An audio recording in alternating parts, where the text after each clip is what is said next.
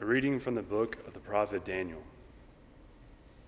King Nebuchadnezzar said, Is it true, Shadrach, Meshach, and Abednego, that you will not serve my God, or worship the golden statue that I set up? Be ready now to fall down and worship the statue I had made. Whenever you hear the sound of the trumpet, flute, lyre, harp, psaltery, bagpipe, and all the other musical instruments. Otherwise, you shall be instantly cast into the white hot furnace. And who is the God who can deliver you out of my hands?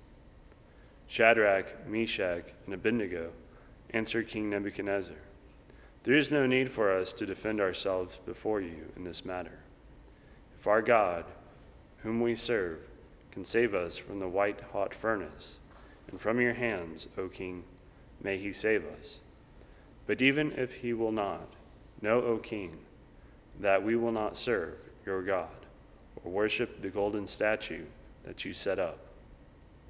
King Nebuchadnezzar's face became livid with utter rage against Shadrach, Meshach, and Abednego.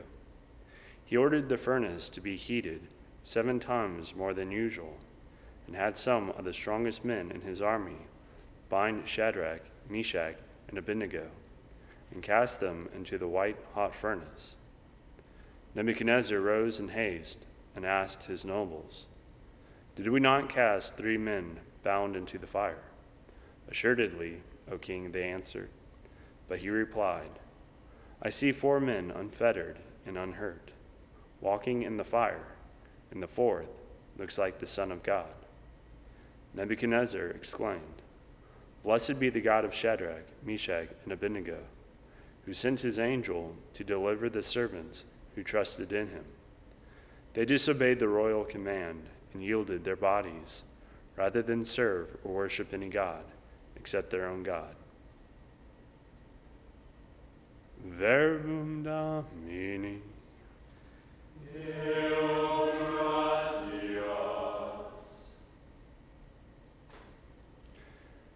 Glory and praise forever. Blessed are you, O Lord, the God of our fathers, praiseworthy and exalted above all forever. And blessed is your holy and glorious name, praiseworthy and exalted above all for all ages. Glory, glory, blessed are you in the temple of your holy glory, praiseworthy and exalted above all forever. Glory, Blessed are you on the throne of your kingdom, praiseworthy and exalted above all forever. Glory and praise forever. Blessed are you who look into the depths from your throne upon the cherubim, praiseworthy and exalted above all forever. Glory and praise forever. Blessed are you in the firmament of heaven, praiseworthy and glorious forever.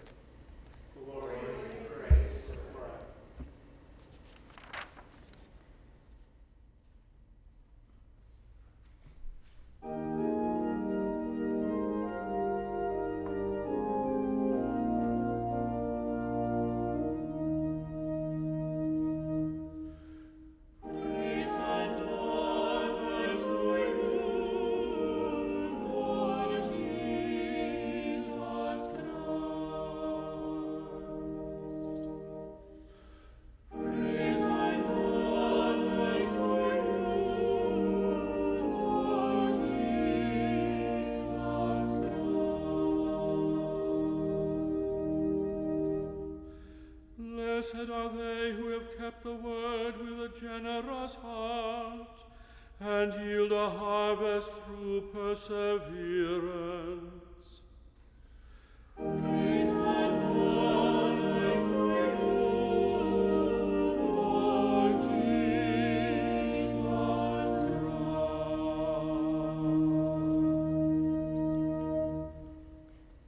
Dominus vobiscum.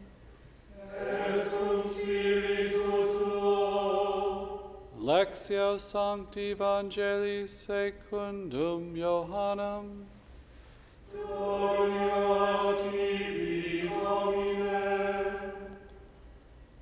Jesus said to those Jews who believed in him, If you remain in my word, you will truly be my disciples, and you will know the truth, and the truth will set you free. They answered him, We are descendants of Abraham and have never been enslaved to anyone. How can you say you will be free? Jesus answered them, Amen, amen, I say to you, whoever any, everyone who commits sin is a slave to sin. A slave does not remain in a household forever, but a son always remains. So if the Son frees you, then you will truly be free. I know that you are descendants of Abraham, but you are trying to kill me, because my word has no room among you. I tell you what I have seen in the Father's presence. Then do what you have heard from the Father. They answered and said to him, Our father is Abraham. Jesus said to them, If you were Abraham's children, you would be doing the works of Abraham. But now you are trying to kill me, a man who has told you the truth that I heard from God. Abraham did not do this. You are doing the works of your father. So they said to him, We were not born of fornication. We have one Father, God. Jesus said to them, If God were your Father, you would love me, for I came from God and am here. I did not come on my own, but He sent me.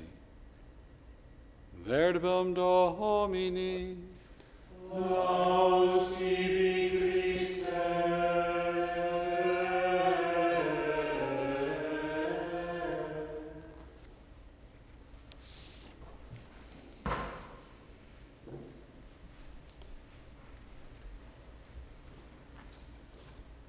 Today, in the first reading from the book of Daniel, chapter 3, we have a very powerful and dramatic scene. We have King Nebuchadnezzar, the king of the Babylonians or the Chaldeans, and he is the one that invaded uh, Judah in 587 and even earlier and had deportations, with the largest one uh, they destroyed the temple in 587, and the Jewish captives would return in 537 BC. And he led this. So, this is speaking of the population in the book of Daniel of their persecution there and their struggle there to cling to their faith. And we hear stories of Daniel. Today we hear his companions, uh, Shadrach, Meshach, and Abednego. That's their Chaldean names. Their Jewish names are Hananiah, Mishael, and Azariah. So Nebuchadnezzar has you know great wealth and success, and he wants all to serve you know their gods in Babylon. So he builds this hundred foot tall image on the plains there. And he tells the people when you hear the music, all are to fall down and worship. But of course, these devout Jewish men who were known for their wisdom and governance, they were set up as administrators over parts of Babylon, and they would not fall down and worship. And Nebuchadnezzar tells them in his arrogance, Who is the God who can deliver you out of my hands? Nebuchadnezzar had conquered Assyria, Egypt, Syria, and eventually Judah. His architectural achievements were considered one of the seven wonders of the ancient world. He was an arrogant man who demanded them to worship their pagan gods. So their response was If our God, whom we serve, can save us from the white hot furnace and from your hands, O king, may he save us. But if not, O king, we will not serve your God or worship the golden statue that you set up. But if not, just three words describe the faith that we as believers are called to have. That God can deliver us from pain, suffering, and difficulty, from struggle, but according to his mysterious purposes, he might not. You know, he might allow that for some glory. He might allow that to use it in some powerful way in our lives and the lives of others. that the quality of faith we are to have is to cling to God in all circumstances.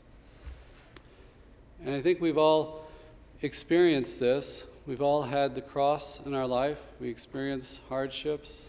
I often think of uh, just within my own family, different struggles in life, my grandparents and relatives.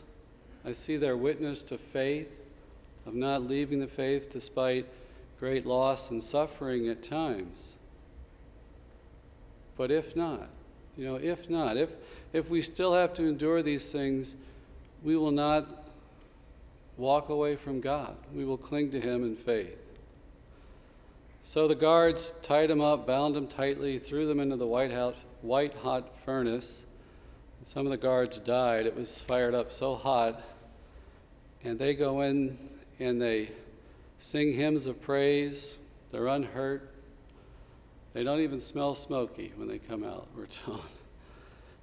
And they look in the furnace, Nebuchadnezzar the king and the others, and they see the three men, and we're told here in a fourth that looks like a son of God. Some translations use son of man. And this is a title that Jesus will take up for himself in the New Testament. It is a messianic title, the Son of Man. It can refer to just simply his being a human being, having a human nature, but also it is this messianic title. In Daniel, there's a vision of the Son of Man sitting on the throne, the heavenly throne. And so Jesus is there with them. And Martin Luther King Jr. gave a famous sermon on this, and he, he said, This is the test of faith. And he says, Don't ever think you are by yourself. Especially, you know, when you're in that crucible, when you're in the trials of life, don't ever think that you are by yourself. There's four, four men in the furnace. Jesus is with us, and he's there to strengthen us and to see us through the trials of our life. In the gospel today, Jesus tells us, I think, how to be a disciple, how to persevere with Him. I mean, to me, this is an inspirational story, but I, I need help right now with the trials. I need more than inspiration, I need more than a powerful story. I need, the, I need grace, I need to be in communion with God in order to persevere, in order to, to carry the cross. And he, Jesus tells us what we are to do. He says, If you remain in my word, you will truly be my disciples. You will know the truth. The truth will set you free. Disciples, you know, that's, that's you know, what we're called to be and, and to cling to Jesus, to have that faith that clings to him. John chapter 6, verse 56 He who eats my flesh, drinks my blood, abides in me, and I in him. John 5 38 speaks of his word abiding in us. First John speaks of, you know, tells us to keep his commandments and abide in him. And then he is in them, he abides in us through the gift of the Holy Spirit. So, Jesus, yes, we're called to abide, to keep, to remain in his word and through the gift of His Spirit, He is abiding in us. Through faith in that Word, through receiving Him in the Eucharist, we're incorporated, transformed into His mystical body. You know, that's the ultimate communion, remaining in His Word. He is the Word. And so to have that strength, to have that freedom, to have that interior freedom, not to be overcome by evil, not to give in to sin. He tells us today if you commit sin, you're a slave to sin. So if the Son frees you, then you will be truly free. That only Jesus Christ is the one mediator, the one liberator, the one who truly destroys, overcomes sin, and frees us from that bondage. These three men in the first reading are held in bondage in Babylon and yet they have this freedom, this interior freedom. They belong to God. And we too can experience that by remaining in Him, by abiding in Him. And we're all called to this. We're all called to holiness. It's not just for certain chosen few in the church. You know, if we're called to be a disciple, we're called to, the Gospels, he tells us to take up our cross and follow him, that we will have sufferings. But if in our prayer, I think if we renew this communion with Christ, you know, maybe just that simple prayer, if you're really struggling or really suffering, just to repeat those words that Jesus abides in me. Jesus strengthens me. He abides in me and I in him. We have this communion that of my own determination, of my own strength, I can't do it. But through that gift of the Spirit, united with him, I can persevere. You know, 1 Peter chapter 5 verse 10 says that and after you have suffered a little while, the God of all grace who has called you to his eternal glory in Christ will himself restore, establish and strengthen you. That we all have sufferings and difficulties, but he will strengthen us. We're destined for glory. All of us, we're called to live a heroic faith that, that trusts in the Lord, that contemplates Him, that has this communion with Him, that we can persevere, take up our cross, and be His disciple.